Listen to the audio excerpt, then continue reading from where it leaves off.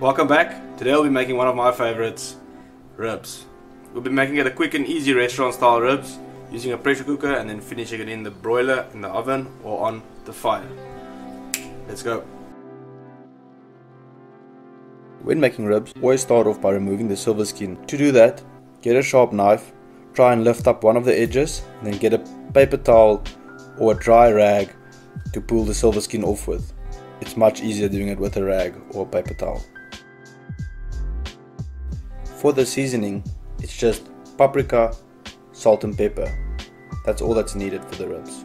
Simply spice it thoroughly on both sides and then add it to the pressure cooker. The reason for the pressure cooker is just because it makes us very quick.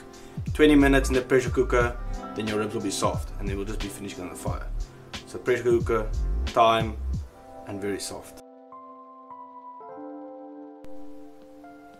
For the pressure cooker, it's very simple. We'll just add some hot water, olive oil, and some vinegar. In a pressure cooker, you always need fluid for the pressure cooker to work.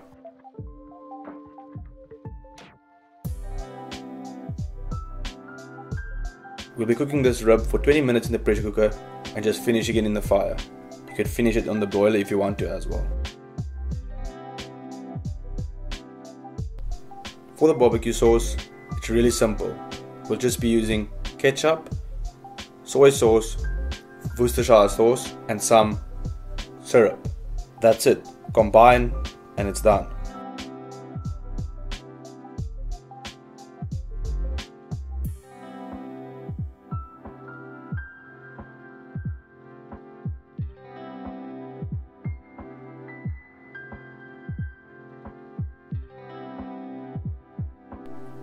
Once the 20 minutes is done in the pressure cooker, you can remove your ribs.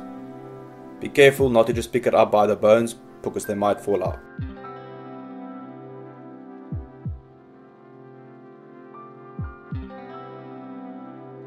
Simply put it on your braai grid and brush over the marinade. Give it about 4 minutes on each side and that's it. Done.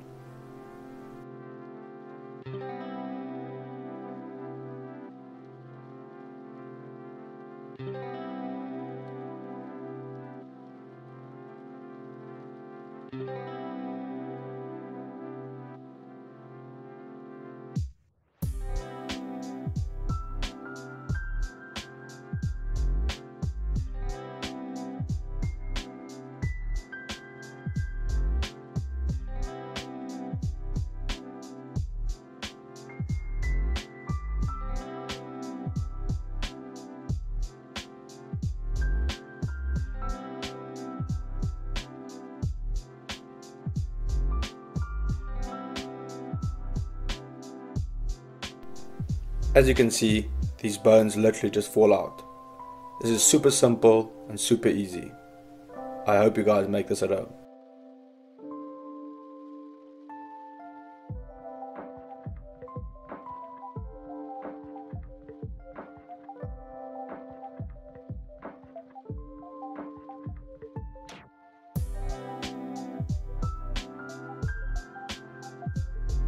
This is just another example of how easy restaurant food can be at home.